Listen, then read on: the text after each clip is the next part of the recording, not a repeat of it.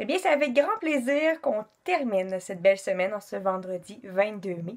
Et je vous amène directement dans la ville de Saint-Basile-le-Grand.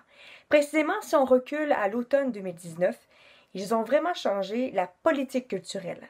Alors, pour la ville de Saint-Basile-le-Grand, c'était maintenant une mission. Les citoyens devaient avoir accès à la culture.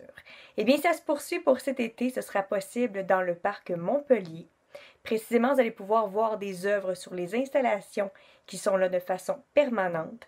Et bien sûr, vous pourrez marcher tout en contemplant ces 20 œuvres disponibles.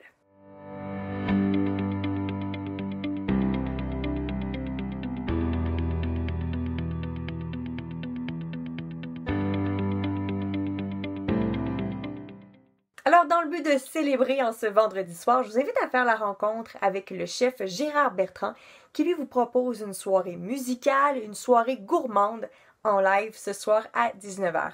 Il appelle ça le Wine Food Music. Et dans le cadre de la Journée mondiale de la biodiversité, il reçoit le réalisateur écologiste Yann Artus Bertrand.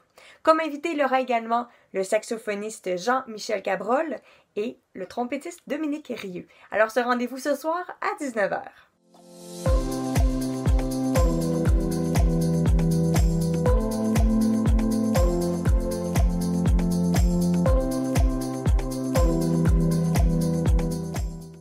Pour terminer, je vous invite à participer à une session de danse offerte par la danseuse Emily Wilson. C'est aujourd'hui à 16h.